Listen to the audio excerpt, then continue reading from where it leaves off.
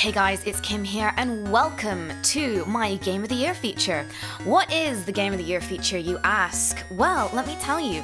Basically, you may or may not have noticed, it is December and it is coming to the end of 2013. So I thought, what better way to wrap up the year than sit down with a couple of my friends and talk to them about what their favourite games of 2013 have been. What better way to start than uh, tell you guys about my top 5 games of 2013? Starting with, in position number 5, Final Fantasy XIV A Realm Reborn. Uh, this might be no surprise to many of you given how much coverage of it is on my channel, but when I first saw Final Fantasy XIV, um, when it was originally released a few years ago, oh my god, what an abomination it was. And I met the director and producer at the time of its release, and my main questions to him were why? Why did you release this broken, broken game that I had such high hopes for? I mean, it's an MMO and it's Final Fantasy. You know, it, it should have been the perfect marriage. So I was very cynical when it came up to the re-release I, I really I, I didn't believe that it was going to be any good but when I was finally given a, a, closed beta key by Square Enix and I dived in there I was so surprised at how completely different it was. And really the turning point for me was meeting the new director producer Naoki Yoshida-san um, who is such an MMO fanatic. Like he, he really this guy knows MMOs he's played so many. He's a super hardcore MMO player yeah, so I've, you know, as, as you know from my channel, I've been playing a lot of Final Fantasy XIV, especially with Rythian and Nalzi and Duncan, and um, I, I know that it's not uh, it's not ideal for most MMO players. It's not very hardcore. It is quite basic, but that's what I like about it because I'm not a great MMO player. The um, first one I played is World of Warcraft, and I'll be honest, like after a couple of years of playing that, there was still a lot of things I didn't quite understand. You know, which Final Fantasy XIV, because it was pitched for uh, fans of Final Fantasy or people who didn't know what an MMO were, especially um, PS3, PS4 players who wouldn't know what an MMO is because there aren't any MMOs on the consoles. Um, it was very good at really breaking down what uh, what an MMO is, how it works, how important your role is within a team, within a, a, kind of a dungeon group or a raid, you know, and how important it was for you to work accordingly to your role and not go off and be a Leroy Jenkins, you know, to if you're a healer to support and heal, if you're um, if you're a tank to really get in there and build up the aggro. And I came away from it kind of knowing a lot more about what I'm meant to do in World of Warcraft and Guild Wars and all that kind of thing. And um, and also it's Final Fantasy, and for as a final uh, uh, and as a long-standing die-hard Final Fantasy fan, um, for me it's brilliant that that the team, the dev team, have remembered that this is a Final Fantasy game and put loads of things in there like chocobos, moogles, Magitech armor, you know, really put a lot of detail and attention um, into it. And, and the music, just the music, man, like as soon as I loaded it up and heard that intro sweep, I was just like, oh, I'm home. So yeah, Final Fantasy XIV is definitely my fifth game of 2013, and I can't wait to see what kind of updates and new worlds and new patches uh, Naoki Yoshida-san will be bringing to us. So moving on now to number four. This one might surprise you because you probably haven't heard me talking about it very much, but it is Animal Crossing A New Leaf on the 3DS. As soon as this game released, I got it, and uh, I haven't stopped playing it since. Like, I know a lot of people have kind of left their villages and they're getting overrun with weeds and all their villagers are like, where are you? But no, I still check in every single day. You know, even if it's just five minutes to pick up my mail and pick up some weeds, I'm still in it. I'm still taking. I love the. I love the seasonal holidays like Halloween. That was amazing. I can't wait to see what happens on Christmas. And I love my villagers. You know, I've got Boone, who's a baboon, and he's really, really sweet. And um, I've got a duck called Miranda. Now, one, one thing um, one of my friends has in his village is um, a little uh, a little bear thing called Flurry, and I, I really hope to attract Flurry because Flurry is adorable. And every time I go visit this friend's village, I'm like, hey, Flurry! You know, trying to subvert him or her. I, I can't figure out the sex, but you know, um, to come over to my town.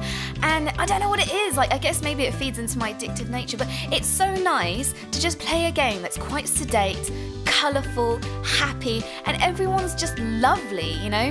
Except for um, the captain, because I really do worry about him. I think that maybe he's uh, a little bit self aware, because sometimes he said things to me that have made me think, how do you know that? Weirdo.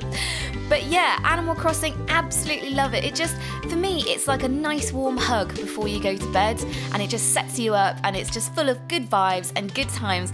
And I, this is probably going to sound a little bit sad, but you know, just having the friendships with my villagers and knowing that if I've had a rough day, I can just, you know, hop on down to Dim Sums, which is my which is my town, and uh, you know, say hi to everyone and give them little presents and get little presents for them. And it just it makes me feel happy, and it's just it's nice, isn't it? So Animal Crossing is in at number four. In at number three is probably no surprise to you. It is The Last of Us. Talk about a kind of magnum opus for the PS3. Just what a way to go out on a console generation. Ah, do, do I really need to say any more? if you haven't got it, you know, just buy a PS3 now and play it. I mean, now that PS4 are out, PS3s are going to be nosediving in value. Just play it. You know, the relationship between Joel and Ellie is unlike anything else I've ever experienced in PC games, in console games, in gaming in general. That kind of father-daughter relationship, you know, the bitterness of Joel initially and the kind of, you know, upbeat relentlessness of Ellie and seeing this world that is just ruined um, through Ellie's eyes, you know, who's never experienced kind of anything modern, like that part where she finds um, some teenage girl's diary and he's like, is this really all that everyone had to think about was like boys and homework and what to wear, you know, and I have to think about when my next meal is gonna be and whether or not my face is gonna get eaten off by a fungus uh, zombie. Just the emotion and I could have explored that world endlessly. You know, I, I, the thing for me was seeing a post-apocalyptic world that still had some remnants of humanity and and society, and going through after it had been ravaged by cordyceps, and seeing how society has kind of broken down. You know, and you know, ultimately it was all about Joel and Ellie and. You know, I'm still undecided about the ending. I'm not going to say anything more than that, but getting there I mean, you guys know, you saw my series, you know, I was crying every five seconds. I was cheering, I was happy, I was sad, you know, I laughed at the kind of sweet, funny moments, and I was in floods of tears doing those horrible moments where you thought, oh God, you know, what is going to happen next? And it really touched a nerve with me. And i keep thinking about it and i keep coming back to it and thinking about the moments.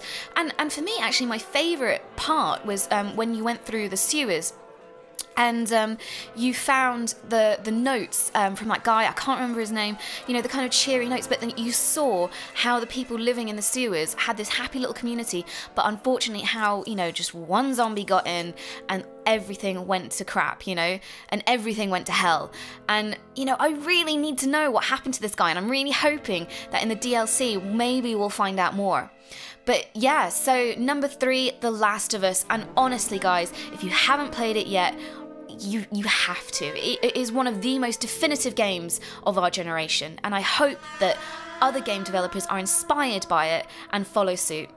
So, with something like The Last of Us in at number three, that probably leaves you wondering, well, what's going to be in at number two and number one?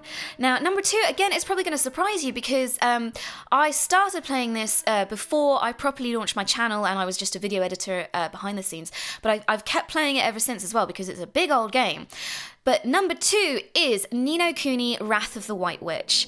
So this was released earlier this year, and ah, oh, I waited so long for it. I was so excited. I treated myself to the collector's edition, which came with a gorgeous magic book and a little drippy plushy doll.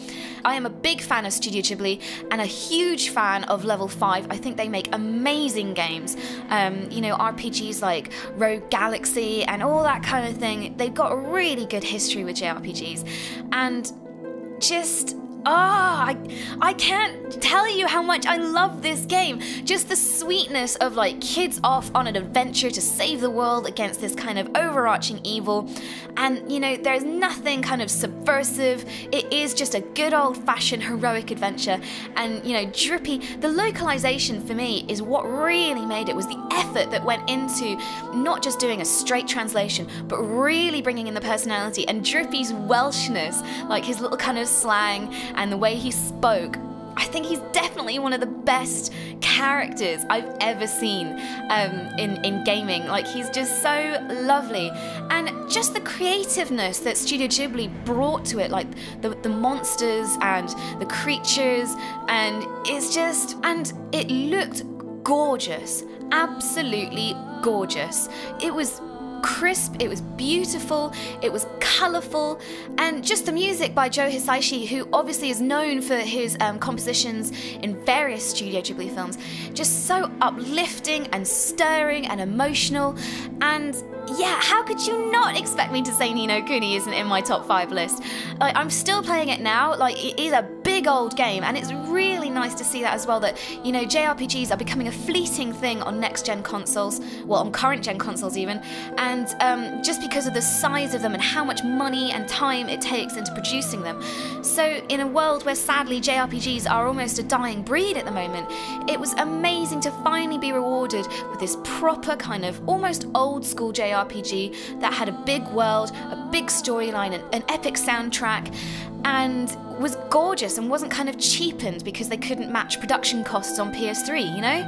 And yeah, so I'm still playing it, I'm still ploughing through it, and I'll be honest, I don't really want my adventure to end with Ni no Kuni, and I really, really, really hope that Level 5 has more in store for us with the PS4 and Xbox One. You know, I cannot wait to see what these guys have next. So yeah, Ni no Kuni without effort in at number two which leaves the empty slot of number one. Now, this was really hard for me. While kind of thinking up my list of game, uh, my list of games of this year, I was thinking of things like Fire Emblem Awakening, Luigi's Mansion Dark Moon, Bioshock Infinite, all these kind of titles, and you know, I haven't put these in top five. It's been a very close run thing. Very close run. If this was top 10, those games would definitely be in there. But my number one game is Legend of Zelda A Link Between Worlds. It's not a very long game. I'm, you know, I'm still plowing through it because I don't want to rush it. I want to but when I first heard this game was coming, I was so excited. I am a huge huge fan of the Legend of Zelda series. I love it. You know, it is my favorite gaming series. I've played A Link to the Past so many times. You know, it is the game of my childhood. So going back to it on the 3DS was really strange but lovely at the same time because it was like going home. Just the map layout and knowing where everything was and knowing where all the Easter eggs are, but things are different and different enough to keep it fresh without pushing me away. And that's what I love about it so much was going back to an old world with a new perspective. And the dungeons like using what I loved as well is how well designed for the 3DS A Link Between Worlds is. It really takes advantage of the hardware. The 3D perspective used in dungeons to solve dungeon puzzles is genius, and it was so surprising. You know, as soon as I put the cartridge in, as soon as I op opened up the game and I heard that music, I was like, oh my god, my heart just like was beating so fast. I was like, I'm home. Like, uh, I can't tell you guys how happy I am that this game exists. And even when I finish it, I'm gonna keep playing it again and again and again because I really, I am in love with this game. And what I love as well is that it, it really rewards Legend of Zelda fans with the amount of Easter eggs from every single other Legend of Zelda game. Familiar faces, Majora's Mask in your house, music from other titles, I absolutely love it. And I know people will be like, oh, well, it was a bit short and blah, blah, blah. I don't care. I don't care. This is my top five list, not yours. And if we're talking about games that really brought me joy and happiness and entertainment in 2013, A Link Between Worlds absolutely nailed it for me. So that is without a doubt my number one game of 2013. And you know what? I'm gonna go and play it now.